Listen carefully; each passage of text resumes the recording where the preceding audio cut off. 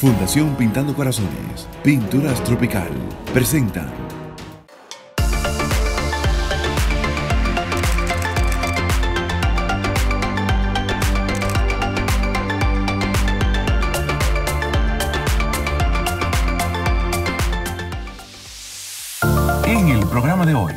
conoceremos sobre la Constitución Dominicana de la mano del ingeniero e historiador César Arturo Abreu. En este contexto, aprenderemos los antecedentes y pormenores históricos de la Constitución Dominicana, así como la necesidad generacional que tiene el país de conocer su historia. Hoy, con William Sánchez, César Arturo Abreu, hablando sobre la Constitución Dominicana. Te invitamos a disfrutarlo.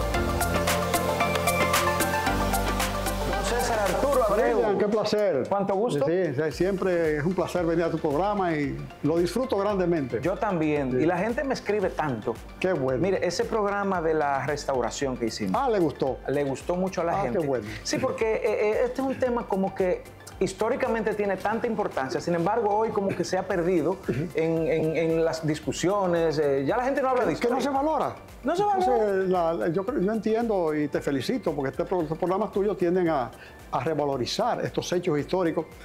Y si tú no conoces todo esto que ha sucedido, tú no puedes apreciar la patria que tienes. Exactamente. Y, la dicha que tú tienes de ser dominicano. A mí me gustó mucho en ese programa y fue algo que la gente me ha resaltado mucho por las redes sociales a través de los comentarios. Eh, una aportación que usted hace al final de ese programa donde usted dice, si 16 personas se juntaron para restaurar la República, poniendo su vida en juego, eh, tú no tienes que poner nada en juego. Así es. Lo único que tú tienes que hacer es dar amor por esa república ya, ya restaurada. Así es. Que a la gente le gustó eso. Amor y acción, y acción. en beneficio de la patria. Así es. Mire, yo he querido invitarlo a usted hoy para que hablemos un poco de la constitución o de las constituciones en la República Dominicana. Nosotros hemos tenido tantas modificaciones constitucionales y hemos tenido también diversas constituciones. Entonces a mí me gustaría que abordemos ese tema de manera tal que podamos ir edificando eh, a propósito del Día de la Constitución que se celebra en noviembre. ¿Qué es lo que es una constitución? Porque también se cae de la mata la pregunta pero ¿de qué van a hablar? ¿Qué es una constitución?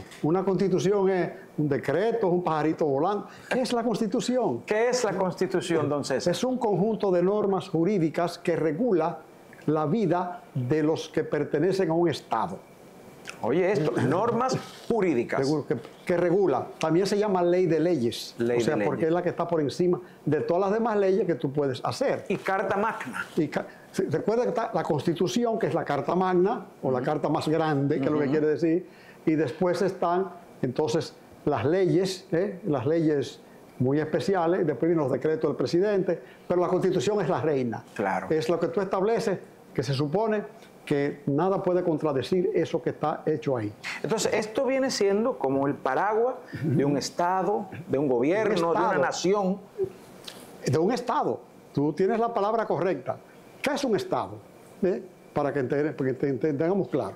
Hay, una, hay, un concepto de nación. ¿Qué es lo que es una nación? Nosotros somos una nación. Correcto. Eh, hay países que son naciones eh, porque tienen que igual idioma, igual religión, igual costumbre, tienen hasta étnicamente, se parecen todos. Por ejemplo, nosotros somos una nación, Haití es una nación. Correcto. esa es una nación. Una vez tú tienes eso ya conformado, una nación, un grupo de personas, ese grupo de personas se organiza, ¿verdad? Correcto. Entonces, al organizarse, y tiene que tener ya entonces como un área geográfica definida, entonces pasa a ser un Estado, un estado. organizado.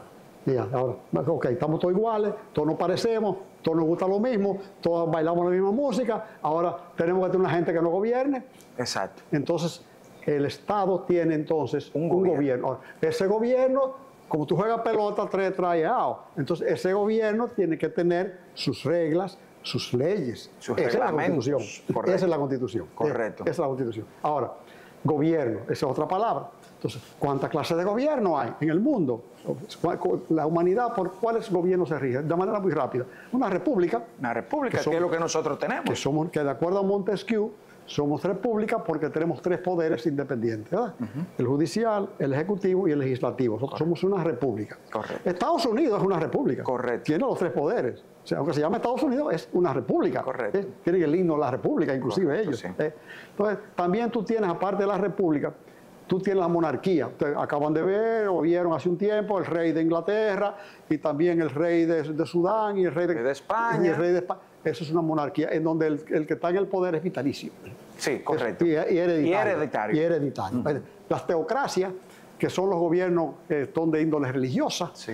Por ejemplo, los ayatolás, Sí, Irán, Irán. y, en Afganistán con los... Sí. Eh, con- con- Con, la- con los, eh, con los, ah, ¿cómo se llama? Sí, Se talibanes. Son los talibanes. Los talibanes. Eh, también hay gobiernos eh, provisionales, aquí los ha habido, Sí. de, de transición, Correcto. mm, triunviratos, ha habido de todo aquí. Y también Los militares. Y los militares, eh, las dictaduras Sí, eh, militares. Cuba, Eh, Pinochet, y Trujillo, Exacto. y Lilis, no te vayas muy lejos, que Así también es. lo hemos tenido. Nosotros hemos tenido toda clase. A- Aquí nada la más no ha habido teocrático. No, sí, Y ni monárquico. Exactamente. Pero bueno, entonces, dicho eso ya y de introducción para que entendamos de qué vamos a hablar, entonces, la República Dominicana, recuerden que se hace libre, soberana e independiente en 1844 Correcto. nace, eh, para que haya república, tiene que haber una constitución. En el momento que cesa la constitución, cesa la república. Una condición sine qua non de una república que exista una constitución. Correcto. Si no, no hay república. Pero tú me dirás, pero bueno, nos proclamamos el 27 de febrero y no teníamos constitución. Oye esto. Sí, porque se adoptó la Junta Central Gubernativa, que fue la que asumió el poder provisional, es un Provisional. gobierno provisional, asumió el manifiesto del 16 de enero de 1844 que hicieron los trinitarios junto con los conservadores, donde explicaban las causas por qué se iban a independizar. Y eso, hasta tanto no se hiciese una constitución, esa era la constitución Ese manifiesto. ese manifiesto. Hacía las veces, no era, hacía las veces, nos regíamos por eso. Pero dentro de ese compromiso existía también la obligatoriedad de convocar una asamblea constituyente. Fíjate que se llama constituyente porque hace la constitución. Correcto. Una asamblea es una reunión de personas. Correcto. Entonces, hay que convocar el gobierno de turno, que estaba entonces, que es la Junta Gubernativa, presidida por Santana en ese momento, tenía que convocar a una asamblea constituyente. Para hacer una asamblea constituyente, tú tenías que tener las personas que la iban a constituir, Correcto. que son ¿qué? representantes de todos los pueblos. ¿Cuántos pueblos? Y los sectores. Pero en ese tiempo eran los pueblos, Los pueblos. porque todavía no estaba definido, no había esos sectores de, de poder en el país, no estaban separados, no había obreros, no había profesionales, no había, no había abogados, no- y si había, no estaban todavía colegiados. Organizados. Organizados. Perdón. Entonces, había, en ese momento se determinó 26 comunidades que tenían cierta trascendencia. Recuerde que el momento que nos hicimos independientes, nosotros eh, éramos unos 100 mil, 200 mil eh, dominicanos, no éramos muchos. 200.000. entonces, entonces no había poder mucha gente tampoco, ni No, muchas ciudades. Pero de esas 26 comunidades, perdón, eligieron 32 representantes. Porque había comunidades que por su tamaño se les permitió tener más de un representante, como fue el caso de Santo Domingo, Santiago y La Vega, por ejemplo.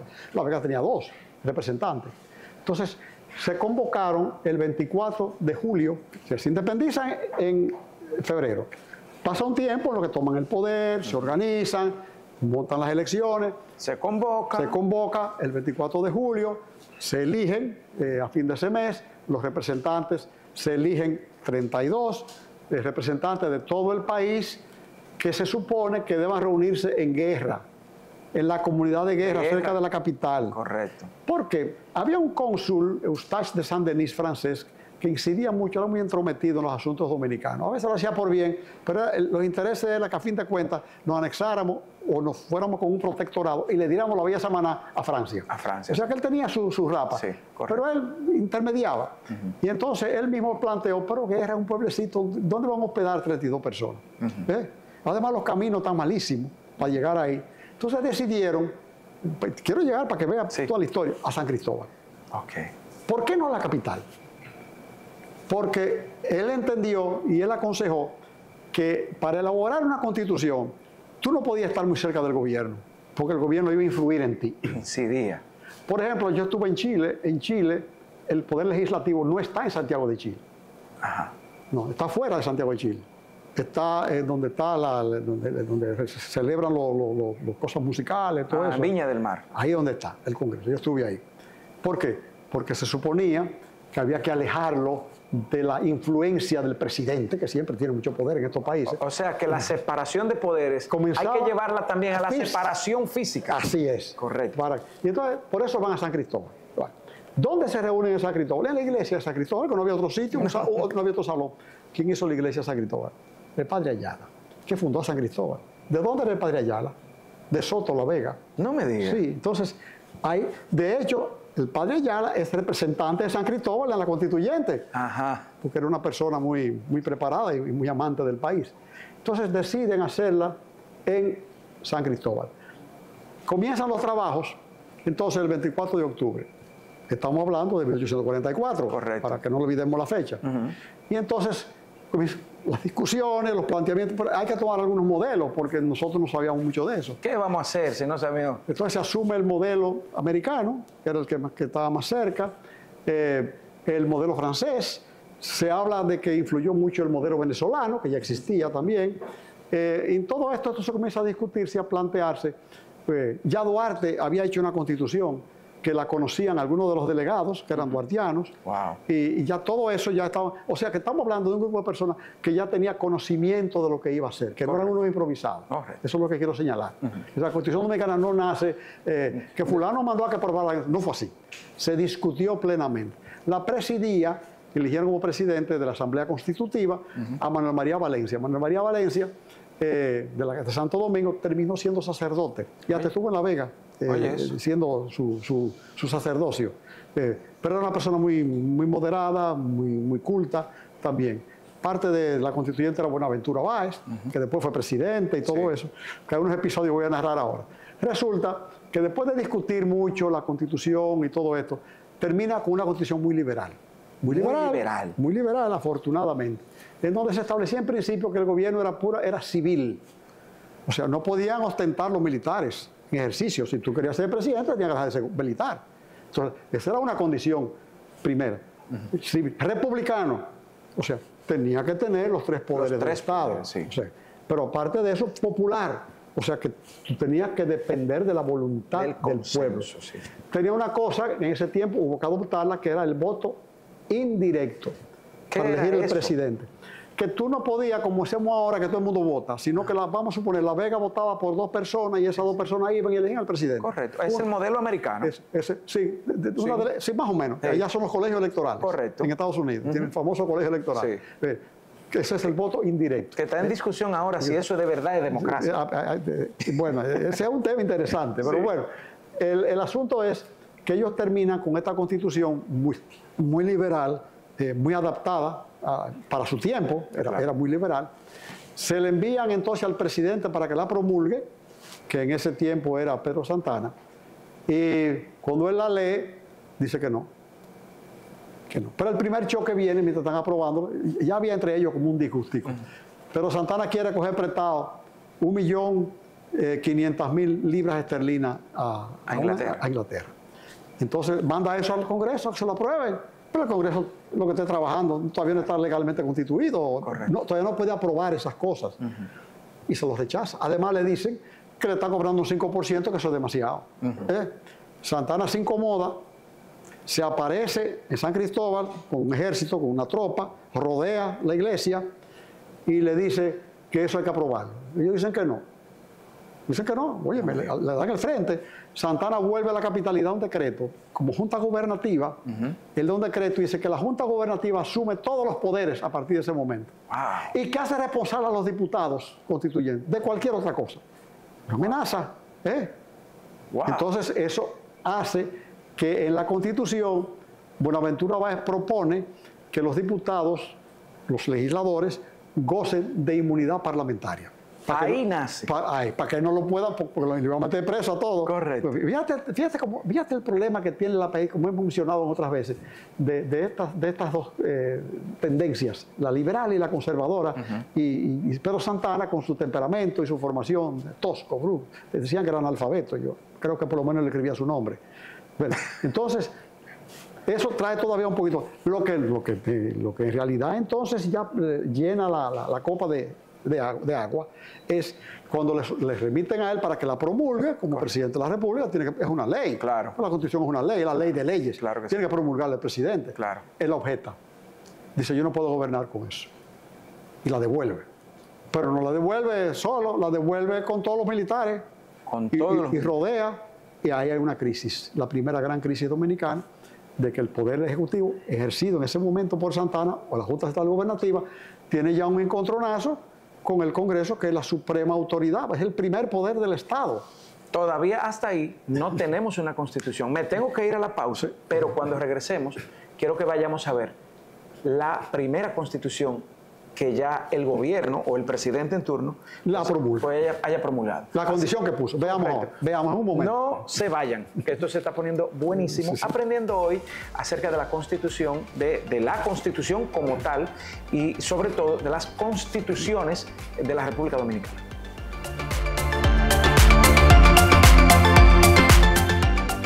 Entonces no se pudo tener una constitución hasta ese momento. O sea que el gobierno la devolvió con los militares. Así mismo La observó.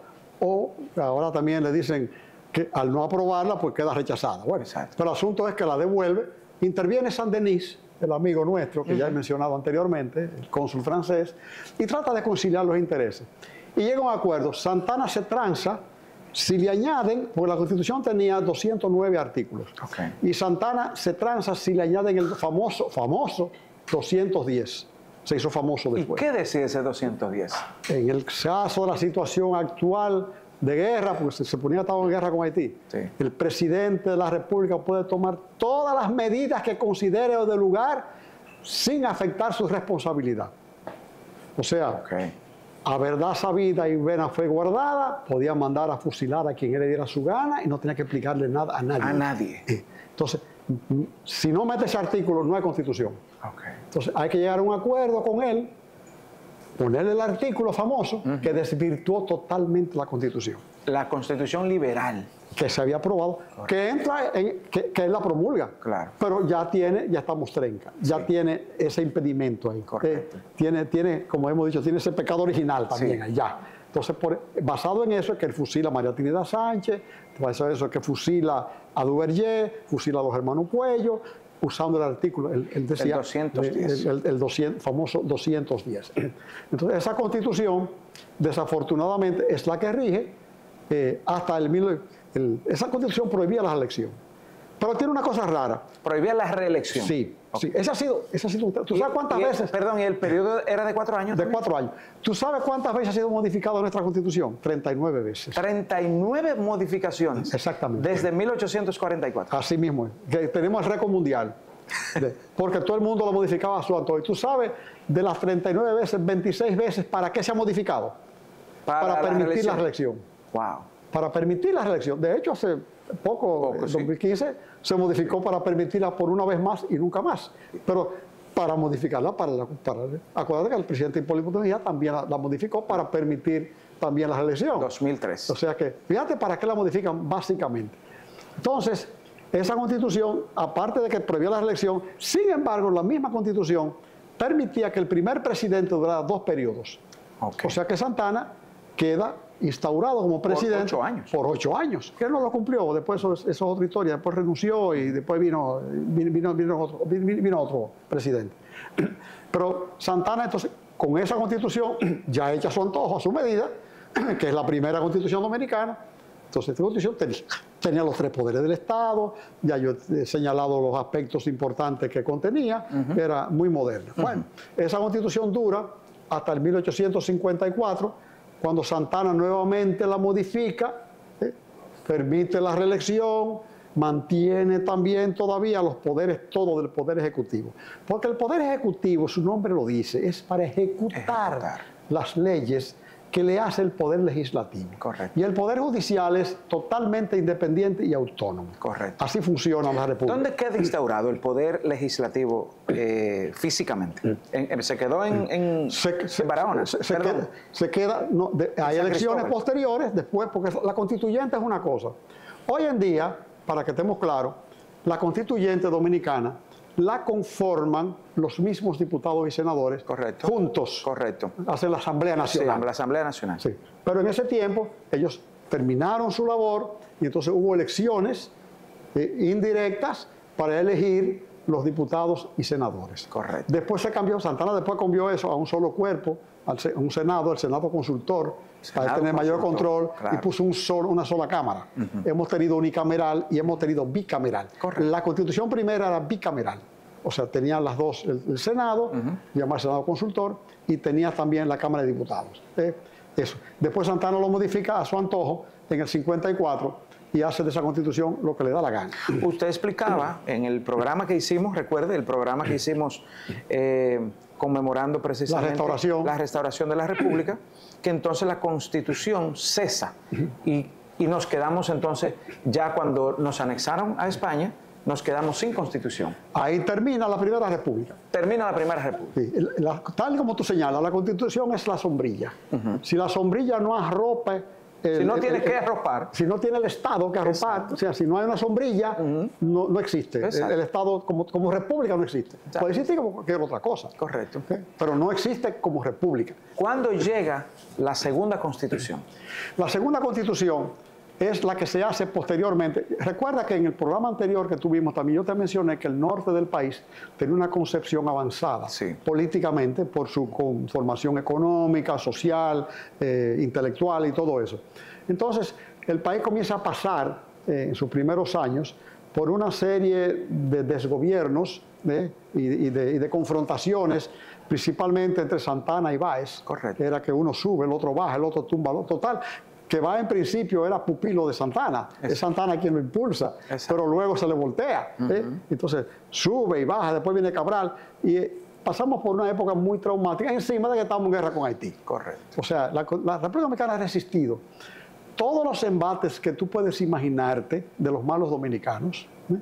pero yo siempre he dicho que esta república existe por la divina providencia que la creó. Desde cuando Colón, y es una historia larga, pero para mí tiene un sentido muy particular y muy especial, desde su creación hasta su lema, Dios, patria y libertad. O sea, que Dios nos ha protegido, porque por todo eso que hemos pasado, no persiste la República Dominicana. Estamos aquí hoy como República Dominicana, afortunadamente. Y una República Dominicana Y no- hoy pujante. y no y- pudimos desbaratarla. Bueno, pero la constitución cesa con la anexión a España. Correcto. La, de, la, la que había hecho Santana, muy mala, muy a su manera. Cesa, obviamente, pero entra entonces en vigencia la anexión y entra las leyes de España. Nosotros no somos república, Exacto. somos una república, somos una provincia de, de, de al- de- de- de alta mar. Eso es lo que somos. Bien. Pero viene la restauración, como hemos mencionado, y bueno, nuevamente se implanta una constitución y hay un grupo, la, la asume nuevamente Santana, vuelve otra vez al poder, vuelve Baez, vuelve toda esta gente, pero entonces hay un movimiento en el Cibao, que es donde, donde voy a, a llegar, eh, que se inicia en Moca, y en Santiago, en el Cibao. Y esas personas, un grupo de personas muy, muy instruidas, muy letradas, y esas personas logran entonces reunirse en Moca y hacer una nueva constitución, que es la llamada constitución de Moca. Porque vamos a mencionar algunas de las constituciones que han trazado pautas, que han sido trascendentes, Correcto. que han impactado grandemente a la República Dominicana. Correcto. Ha habido muchísimas otras, Sí. que la han modificado 39 veces, pero ya la de Moca tra- traza también una nueva eh, proyección de lo que es la República Dominicana como país. ¿eh? Correcto. pero está hecha por gente muy preparada. ¿Cu- cu- ¿Cuál, era, ¿Cuál eran estas Muy cosas? Yo, yo, son tantas que yo me permití eh, sacar más o menos una, una, una listica para que la entendamos bien. Esto fue el 19 de febrero de 1858. Esta es la Constitución de Moca. La constitución de Moca. Bueno, entonces, derogó la del 1854 de Santana. La derogó totalmente. O sea que tal y como tú señalas, esa, esa es una nueva constitución. Una nueva constitución. Porque deroga totalmente la otra. Entonces, consagra las libertades públicas de manera es- irrestricta, incluida la libertad de expresión que estaba restringida por la de Santana. Correcto. Abolió la peña de muerte, ya tú no podías más fusilar. Ya. Ya, eso se acabó, pues Santana fusilaba que le daba la gana. Claro. Prohibió la elección consecutiva. Ajá. Nuevamente. eh. Consagró a Santiago como la capital de la República. A Santiago. Sí, sí, sí, sí, sí. Bueno, Eh, eran cibaeños. sí. eh, entonces, el- se reunieron, eran los hombres más ilustres, fueron 26, consagró el libre tránsito, libertad de reunión, que eso no estaba tampoco. Ah, pero muy liberal. Sí, sí, el gobierno civil, republicano, popular, representativo, efectivo y responsable. Y directo. O sea, El voto. sí, Ya ya, el la- voto ya- era ya directo. votaba todo el mundo. Ok. Ya no era que yo delego a William para que me represente y después tú te transabas con fulano o cogí unos cuartos. No, no, ya eso se acabó. Sí. Ya el- la gente votaba. Ok. La, la- la totalidad de las personas. Integró al poder municipal como poder Ajá. que era un sueño de Duarte, Sí. o sea, los ayuntamientos. Sí. ¿eh? Ujú. Esa- Entonces ya, en vez en vez de tres poderes, ya eran cuatro, Ya eran cuatro. porque había que disgregar un poquito. Las Fuerzas Armadas obedientes al poder civil. Y el presidente de la Asamblea fue Benigno Filomeno Rojas. Eh, O sea, que fue una constitución que Por eso cambió, menciono que cambió totalmente eh, la concepción del Estado dominicano como tal, ¿verdad? Le dio un instrumento moderno, nuevo, ágil, democrático, eh, participativo. ¿Quién gobernaba para la época? El primer presidente fue Benigno Filomeno Rojas. Y, y asumió la La, constitución. la asumió, la asumió. Lo que pasa es que eh, en el 1858, te estoy hablando eh, ya en julio, eh, seis meses después, Sí. Santana lo derrocó y tomó el poder nuevamente. Otra vez. Otra vez. Dios y ahí entonces viene la anexión y todo eso. Entonces ahí la constitución de Moca, que es considerada, a mi juicio, para el tiempo, porque la cosa hay que juzgarla en el tiempo. En el tiempo, correcto. es la constitución más liberal que ha tenido la República Dominicana. Hablan de la del 63. Yo, vamos a hablar un poquito de la del 63, que es la de Juan Bosch. Correcto. Pero creo que esta de Moca, por el tiempo que se hizo, por el contenido que tenía, sin lugar a dudas, ha sido la más liberal de la República Pero totalmente, estamos hablando tú de libertad de expresión, De- libre. libertad de reunión, Que no pena de muerte. Que no pena de muerte. Voto directo. no pena de muerte en el año 1858. Que fusilaban por verlo saltar, como decían antes. Dios, pero sí, por Dios. Sí, sí, sí. Entonces, así pasa el tiempo. El país ya entonces va por la anexión, viene después toda esta época de las, guer- de las guerrillas, viene la intervención eh, americana, eh, desaparece nuevamente la república. De- Los americanos lo que traen es lo que diga el comandante Knapp, era el, el jefe que estaba gobernando aquí de los Marines, era la orden ejecutiva que él daba. Esa era, la, esa era la ley, no había constitución dominicana. Eso estamos Des- hablando de 1916. 1916 al 24. Ok. Al 24. Entonces, ya ahí cesa la República, vuelve y la retoman después que son los americanos y vuelven otra vez con la Constitución, pero ya la que adoptan es la de Santana, que es Horacio Vázquez con ligeras modificaciones. Correcto. Eh, por, por ese proceso se pasa, hay un pro- viene el problema eh, con Horacio Vázquez por la interpretación a la Constitución de que nace Trujillo. Correcto. Porque Horacio Vázquez dice que él ha sido electo por la Constitución anterior, eh, que no tenía, que no eran cuatro años, que eran seis. Ajá. Y se quiere quedar. Y entonces decían, no, tú, tú elegiste, porque en ese momento él arregló la Constitución. No, tú, tú elegiste por cuatro. No, pero yo estoy electo por la modificación constitucional, que es la que me aplica, son seis. Ahí viene el problema, que entonces Trujillo asume, el- asume el mando, en el 30. Eh, eh, En esa discusión. En esa discusión, acuérdate Pero puesto por los americanos. por- porque ya se habían ido. Pero dejaron, pero dejaron todo preparado. dejaron todo listo. Seguro. ¿Por, qué, por qué razón eh, viene el- este movimiento en contra de, del movimiento cívico famoso? Ajá. Porque Horacio Vázquez se quería quedar. Porque todos siempre que se quieren quedar, Sí. o por reelección, o porque le da la gana. Y siempre salen mal. y sí, porque es que, es que no puede violentar. No. La violencia lo que lleva es violencia. Pero no lo entienden. Y, y Increíble. pregúntale a todos los que están cuántos quieren volver y cuántos sido presidente y cuántos quieren seguir siendo. Exactamente. ¿Eh? Yo digo que en todo dominicano, eh, yo no sé tú y yo, todo el mundo que quiere ser presidente. Todo el mundo quiere ser presidente. y el que está quiere seguir siéndolo, y el que se fue quiere volver. Y por eso es una, deja a otro que venga con nuevas ideas. Entonces Trujillo no instauró ninguna eh, eh, constitución nueva. Trujillo modificó la constitución a su antojo. Por ejemplo, la constitución que asume Trujillo el poder, como Trujillo era un hombre también celoso, le quitó lo de la vicepresidencia. Sea, para que el que estaba ahí no conspirara, con- porque generalmente los vicepresidentes conspiraban para tuvo el presidente, para quedarse ahí ellos. No, y que había tenido ya con Buenaventura Báez, había tenido ya la experiencia. Y con, con Santana, y con, que, con que Santana. lo ponían, este se lo tumbaba. Entonces, pero Trujillo entonces una vez se antojó de poner a, a Ramfi de vicepresidente y, y modificó la constitución. Correcto. A ponerle un vicepresidente, que él ponía, era el que lo ponía. Sí. Él decía que era Galicia, pero esto era mañado.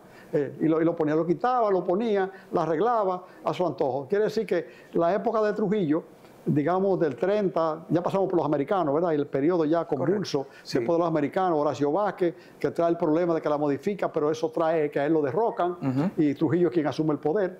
Pues Trujillo ayuda a tumbarlo, pero el movimiento cívico quien lo instaura este, el- este líder de, de- de Santiago, es es quien, quien, quien asume, el- ahora se me escapa el nombre, yo ahorita me acuerdo, y, y Trujillo lo que está es ayudando, pero Trujillo termina siendo el presidente y él de vicepresidente. Exactamente. Estrella Ureña. Estrella Ureña. Estrella Ureña. Entonces Trujillo, cuando, cuando se pone mano en Trujillo, Trujillo se, se va con el santo y la limona. O sea, Trujillo que acaba de tumbar a Horacio Vázquez, ¿eh? que Horacio Vázquez llama a Trujillo, mira, me quieren tumbar. No, mientras yo esté aquí, usted no va a ninguno, usted verá que usted se queda. No, hombre, no, fue el primero que lo traicionó. Ay, Dios mío. Pero- Mire, pero- en- entonces aquí no hubo, en, en- en los 30 años de Trujillo, no hubo constituciones nuevas. no, Hubo no. muchas modificaciones. al, al- al antojo y a- al... a- ajustándolo. La siguiente y- y- y al constitución- servicio. Y ya la siguiente constitución nueva nueva. es la de Juan Bosch. La de Juan Bosch. Espérese, tengo que irme a una pausa.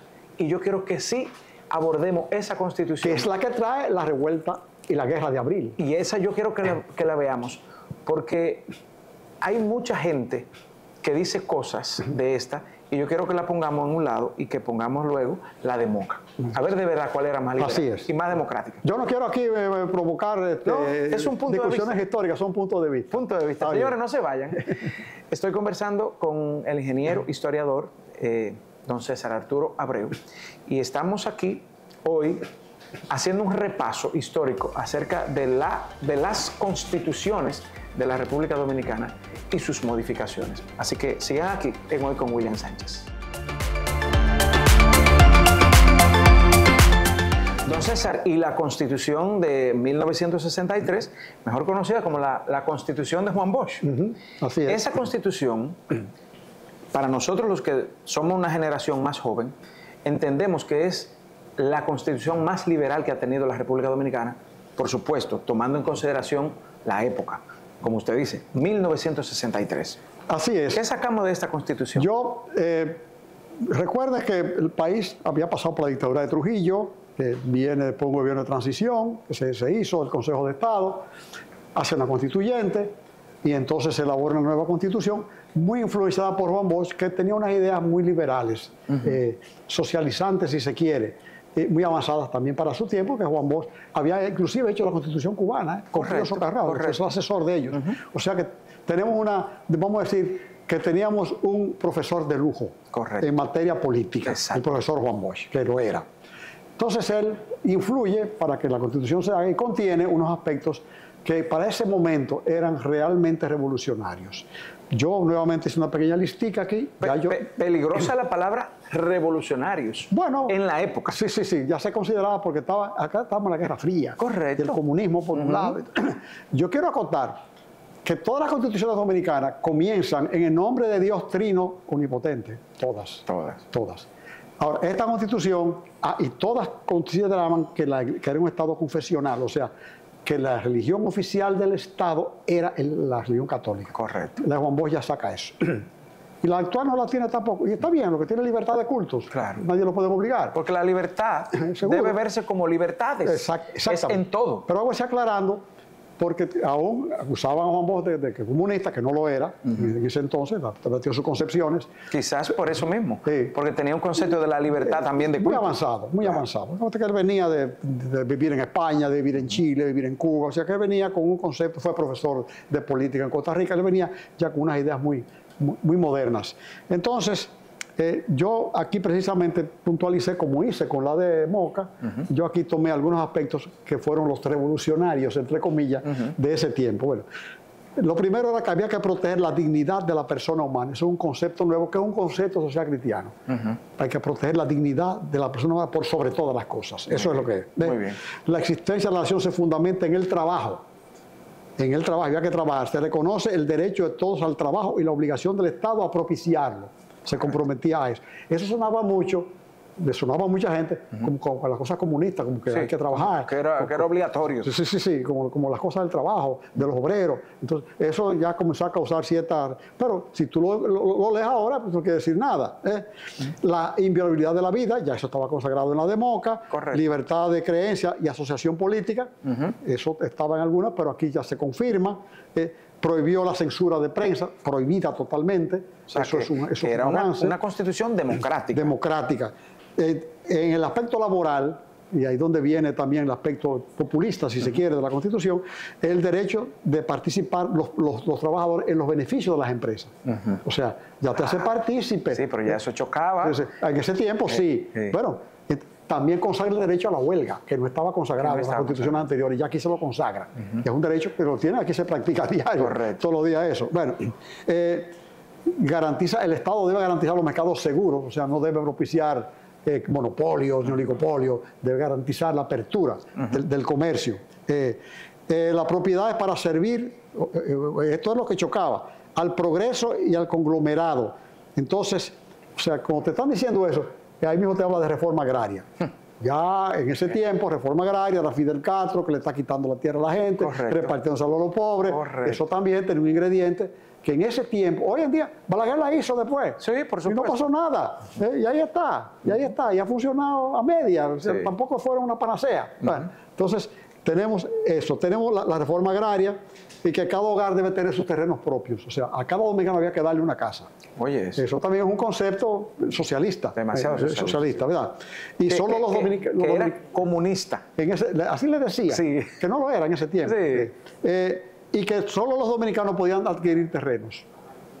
Que hoy en día, tú sabes que aquí puede comprar el que Eso- se le da la gana. eso también chocaba Es con los- porque era muy nacionalista. Claro. Eso era para preservar la riqueza nacional. Claro. Porque los oligopolios norteamericanos se estaban haciendo dueños de los países latinoamericanos, comprando para sembrar eh, banana, para, para las minas. Correcto. Entonces, no, no, no, aquí tú no Por nosotros. eso chocaba con el imperio. Seguro, seguro. Eh, eh, bueno, en el aspecto educativo, el Estado garantiza la educación, tenía que garantizarla a cada dominicano, libertad de la enseñanza y, y- y la- y que la educación fuera laica. O sea, acuérdate que la educación nuestra era, era eh, materia obligada a la religión en las escuelas. Correcto. Ya no, ya es laica. Laica es que no es, es sin religión. Ay, ay, ay, ay, ay, ay, ay. Entonces, chocando eso- con demasiados poderes, con la iglesia y con el imperio. Había otra cosa contra la Constitución. Perdón, y con los empresarios. Fíjate, y la iglesia también. Sí, por eso digo, con la iglesia, con el imperio y con los empresarios. Pero viene otro ingrediente de tipo social. Ya, los, ya no hay distinción de hijos, ya tú no eres hijo de la calle. Ya tus hijos, sean de matrimonio o no, heredan de tu parte. Wow. Y eso está consagrado en esa constitución también. O sea, que fíjate que tiene unos elementos que si no son revolucionarios el punto de vista de propiciar, que eh, eran, para ese tiempo, eran muy socialistas. Demasiado socialista. Entonces, lo que, eh, ese tipo de cosas, más la educación laica, más todas estos- estas palabras que sonaban al comunismo, es que- Fidel sonando es lo que en hace- Latinoamérica. es lo que hace entonces que Juan Bosch, entonces, los reaccionarios, los de siempre, pues los militares lo deponen, viene un, un- no viene un triunvirato, un triunvirato que se vuelve dos, y todo este proceso hasta para que lleguemos a la última constitución nueva, que es la que hace en el 2010 en el gobierno de Leonel Fernández, que es una nueva constitución que hace el país, ya, que es la que tiene hoy en día. Porque entre el 63 y la del 2010, lo que hubo fue modificaciones. Exacto. Balaguer asume la de Trujillo y la modifica ligeramente, y la, la pone un poquito más democrática, pero sigue siendo que es la que más ha durado en el país, la de cierto, Balaguer. es cierto que eh, el hecho precisamente de que hayan quitado a Juan Bosch del poder, eso nace en Washington, en la Casa Blanca. Yo creo que contó con el apoyo, pero yo creo que nació de sectores aquí que se vieron eh, afectados, como ta- tú has visto eso. De que tú le dijeras a la gente que hiciera una reforma agraria, un país que estaba lleno de latifundios, ¿sí? y que la gente, aquí había una gente que tenía mil tareas de tierra y había uno que, tenía, que no tenía ni el patio ni para hacer una mateyuca, como que gritaba la presencia de Dios. Claro. O sea, Entonces yo creo que esos sectores fueron los que influyeron, desde luego con el beneplácito de, Estados Unidos de y de- y, de la iglesia. Y de la Iglesia Católica. sí, hay que decirlo. 2010, última constitución. Sí, tiene 277 artículos. Esa la, la convocó Leonel Fernández, convocó de una constituyente, y es la más moderna de todas las constituciones que hemos tenido nosotros. Y no solamente nosotros, está considerada como una de las constituciones más completas del mundo. Es la única que tiene un, un preludio, un prólogo de las constituciones. Y Wow. aclara muy bien, y dice en nombre de Dios, y dice en nombre de los ideales de Duarte, Sánchez y Mella. O sea, que todo eso está en un prólogo que tiene la Constitución, que no la tenía ninguna antes. Que, que ha habido mucha ha habido mucha gente que entienden que fue una modificación constitucional y No. esto fue una No, constitución no, acuérdate que nueva. hubo inclusive un plebiscito a nivel Claro. nacional, todo el Se mundo consultó opinó. a todo el mundo. Entonces, ¿qué trae de nuevo? Aparte de, lo, de, de ratificar los elementos liberales que tenían otras Y constituciones, de, de patrios. Entonces tiene como novedades. Reestructuró el Consejo Nacional de la Magistratura. O sea, acuérdate que antes el- los jueces lo nombraba el presidente vía el Senado. Ahora es el Consejo de la Magistratura. Correcto. Eso es para garantizar la independencia del Poder Judicial. Correcto. Eso quedó constituido. El Tribunal Constitucional y el Tribunal Supremo Electoral. Esos Son dos- figu- van dos tres, figuras. Van tres figuras ya, Sí, nuevas, fi- sí. que implementa, ¿verdad? Reestructuración de la Suprema Corte de Justicia. O sea, que fue a lo básico, al, digamos, al elemento estructural fundamental para garantizar las libertades. Porque estos tribunales garantizan la libertad. Porque tú tienes entonces instancias donde ir tú a, a llevar todo tu, tu reclamo. Claro. Porque antes terminaba. La Junta Electoral decía que tú saliste síndico de la Vega y tú habías cometido fraude. Y, y lo que ellos decían eso era. Sí, Ya ahora no. no. Ya es un órgano administrativo. Correcto. Ya no es deliberativo. Ya entonces tú vas al Tribunal Constitucional. Correcto. O sea, que me amplía mi, mi abanico de, de opciones. ¿eh? Entonces, eh, Y derechos. también estableció, estableció 178 diputados, que era por, disu- por, por- por densidad poblacional. Cinco nacionales, eso es nuevo, y siete del exterior. O sea que aparte de los diputados que tú eliges, hay cinco que no, tienen de- que no son de La Vega, que son nacionales. Hay cinco y hay siete que representan los dominicanos que viven fuera, los del exterior. ultramar. Hay un senador por, por- por cada provincia. ¿eh? Eh, y esa constitución que de 2010 también prohibía las elecciones. Prohibía la reelección en ese momento. Luego en el 2015, Perdón, aquí estaba contemplado que un presidente o una persona podía gobernar cuatro años, salía Y y, después- a los cuatro años podía volver, postularse de nuevo. Volver, así es, así es. Y eso se modificó en el 2015, en donde tú podías hacer entonces dos periodos consecutivos y nunca más, Solo ha sido modificada una vez desde el 2010. en el 2015. O sea que vamos bien, porque entre el 2010 y el 2023, que haya sido modificada una sola vez, pues vamos bien. Recuerda que, Nunca esa, debió ser eso. que esa constitución, para, para, para hacerla de nuevo, eh, fue convocado los abogados constitucionalistas más brillantes de Francia, de todos los países que tenían mentalidades brillantes en, en constitucionales y dominicanos también. O sea que el producto que salió fue un producto terminado. Yo diría, eh, y que me excusen eh, decirlo de esta manera, que para la República Dominicana en ese momento le quedó grande. Para, para la forma de pensar de la Sí. mayoría de, de- de- de la desobediencia civil que tenemos aquí. Todo eso. Esa constitución está hecha y estaba hecha para no ser modificada. Intereses políticos, como siempre la modificaron. qué pena. Recuerda, para, para, para permitir que Danilo, que fue Sí, Danilo, eh, claro. que de acuerdo, se pusieron de acuerdo en modificarla, y, y ya es dos veces y nunca más. Ojalá que no la... que es el tenemos- sistema americano. Sí, ahora tenemos el sistema americano. Es el sistema ameri- de, de la elección del presidente. Sí. Entonces, ojalá que no se antojen los actuales senadores y diputados. No he oído que han tratado de modificar nada últimamente, porque está tan bien hecha. Hubo, hubo eh, al, inicio, al inicio del gobierno de Luis Abinader, hubo una propuesta de modificar la constitución para, eh, recuerdo que era para la independencia del Poder Judicial o del Ministerio Público. Era- para independizarlo, pero que está independizado. Era hacer un ministerio. Eh, exacto. Como, como hacer otro ministerio. Ahora, por aquí tenemos demasiado ministerio y demasiado provincia. Ya, ya, ya el país no soporta ya eh, hacerle más instituciones. Ya, ya con las que tenemos, el, el asunto es cumplir las leyes. Decía Juan Pablo Duarte, una de sus máximas, que es el fundador de la patria y quien estableció los principios fundamentales de lo que tenemos hoy. Claro. ¿eh? Eh, que la obediencia a las leyes es lo que garantiza el progreso y el éxito de una nación. Así es. Y eso es lo que tenemos nosotros que entender. Las leyes están ahí. La estructura jurídica del país está ahí. Lo que hay ahora es que simplemente cada dominicano se comprometa a conocerla. Porque cuántas personas de los que nos están viendo en este momento han leído la Constitución de la República. Así es. Yo pregunto, y usted que me está oyendo, hágase un análisis. ¿Usted ha leído la. Constitución? Debería ser una materia de escuela. Eso dicen. Porque ese es el fundamento de la nación, esa es la ley que rige todas las leyes, esa es, la ley que rige tu vida. Digo, yo no sé si en otros países eh, eh, la materia de la- del, del- del conocimiento de la Constitución es una materia en la escuela, no lo sé. Sí, en Estados Unidos sí, lo, Sí. lo- eh, lo hacen y ellos tienen también su... Recuerda que Estados Unidos ha sido modificada muy pocas veces. Sí. Porque ellos hacen enmiendas. Le hacen enmiendas. Así que es una modificación, eso es lo que hace. Creo que hay 14 o 15 actualmente. Vi hoy que iban, iba por 14. Perfecto. Eh, el asunto es que ya tenemos los elementos ya he- hechos ahí jurídicos. Lo que es que proceder y acatar esas leyes que tenemos, no solamente la Constitución, todas las leyes que tiene la República Dominicana tiene, yo fui diputado, te puedo decir, que tiene una estructura jurídica casi perfecta. Qué bueno. O sea, no hay, yo diría que los diputados y senadores deberían dedicarse más a estar con sus comunidades, Exacto. transmitir intenciones, buenas intenciones, que ir a legislar, salvo que una que otra cosa, porque es que está todo hecho. Las leyes están hechas. Sí. Eh, lo que hay es que implementarlas Sí. y el gobierno de turno que las ponga en efecto. Claro. Eso también es importante. No es que están hechas, es que se cumplan, es Correcto. hacerla cumplir, ¿verdad? Correcto. Que para eso está, para ejecutarla el Poder Ejecutivo y para hacerla cumplir y para dilucidarla el Poder Judicial. Correcto. Entonces, nosotros tenemos en este país afortunadamente la estructura perfecta.